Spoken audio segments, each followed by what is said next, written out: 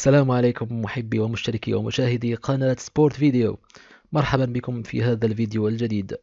سنتطرق خلال هذا الفيديو إلى جولة سريعة عبر ما نشرته مواقع عالمية بشأن ما جرى في نهائي دوري الأبطال دوري أبطال إفريقيا بين الترجي الرياضي التونسي والوداد البيضاوي المغربي.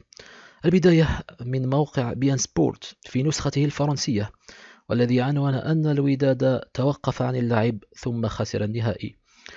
وبالعودة إلى ما نشره كاتب المقال هو كان بالمناسبة مقالا مختصرا جدا فقد قال أن المباراة قد توقفت آه، بعدما تم إلغاء هدف من تسلل غير موجود كما يشير كاتب المقال آه، حيث أن لاعبي الوداد طالبوا باستخدام تقنية الفار أو ما يسمى بتقنية حكم الفيديو.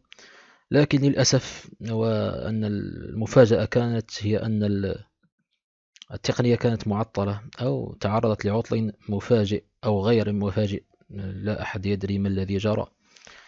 لذلك توقفت المباراة لأزيد من ساعة ونصف قبل أن يعلن الحكم الإيفواري باكاري قصمة عن فوز الترجي باللقب بعد ما اعتبر أن الوداد قد انسحبت من النهائي.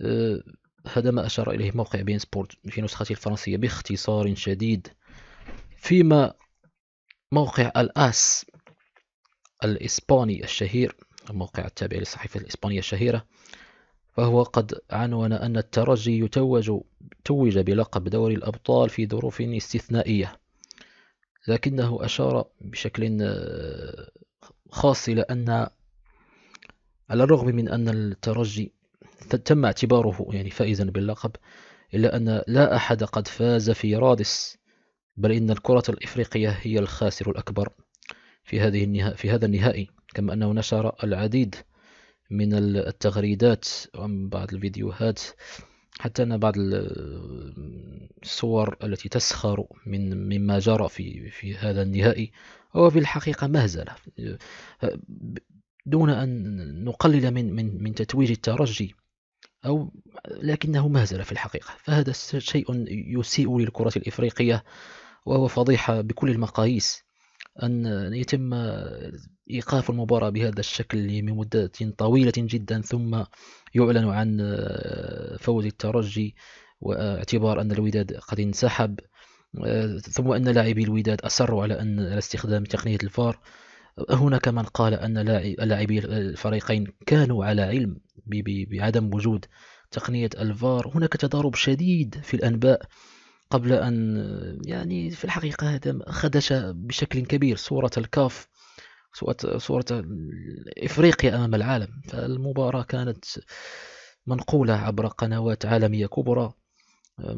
يعني هذا والدليل أنتم أنتم تشاهدون الآن. الموقع آس الشهير نعم هنا هناك صورة أشرت إلى أحد لاعبي الوداد آه، يرفع شيئا ما يقول على أنه في إشارة إلى أن الفار لم يكن موجودا من, من, من الأساس. ففي الحقيقة مؤسف جدا مؤسف للغاية ما جرى. آه، فكنا نرغب في مشاهدة مباراة ونصفق فيها للمتوج أيا كان سواء كان الترجي أم الوداد. لكن ما جرى للأسف لا يمكن لأحد ولأي محب للكرة الإفريقية أو العربية أن إلا أن آه، يشمئز مما جرى في مباراة ملعب رادس. في الحقيقة نعم هناك صور كثيرة تسخر مما جرى للأسف فأنا صحيفة الآس آه، خصصت حيزا كبيرا للحديث عما جرى في مباراة ملعب رادس. آه، أما صحيفة ليكيب الفرنسية الشهيرة فقد نشرت عبر موقعها أن الترجي فاز بعد في مباراة لم تدم إلا خمس 58 دقيقة. نعم هذا ما, ما قالت. كما هي بطبيعة الحال فقد أشارت أن الحكم أوقف اللقاء ثم اعتبر أن الوداد انسحب كما أنها استهزأت هي الأخرى وسخرت بشكل واضح من من من هواية القائمين على التنظيم. تنظيم مباراة بهذا الحجم نهائي دوري أبطال إفريقيا. فهذا ما أشرت إليه في آخر المقال. كاتب المقال أشار إلى هواية هواية مسؤولية هواية للمنظمين. المنظمين يعني كانوا هم المسؤولون عن هذا هذه المهزلة. آه، للأسف الكرة الإفريقية خسرت آه، كثيرا.